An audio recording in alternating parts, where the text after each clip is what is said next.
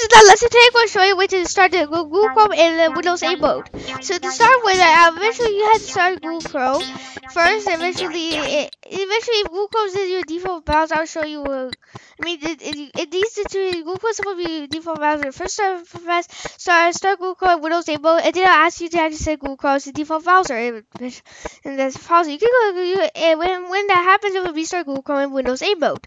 So you can actually so I the charms bar, close Google Chrome, eventually it tells you the top. You can swipe in for the charms bar. You can actually check your apps, check the time, change the volume, and other things right here. Also, also if you want the Google Chrome the desktop to use the desktop accessories, instead of closing Google Chrome, and if you have a page open, you can just actually go to that three line bar again.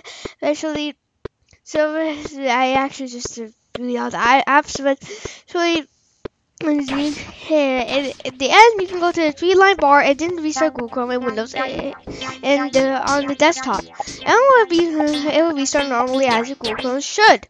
So eventually, the, the, this is a Krishna Das lessons. So eventually, Judah has 50 by Krishna Das. So thank you, subscribe to my YouTube channel, like this video, and share it with your friends and family. I need more viewers.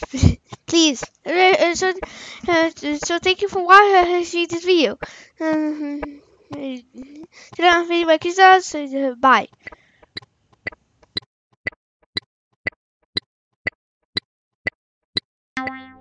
Bye.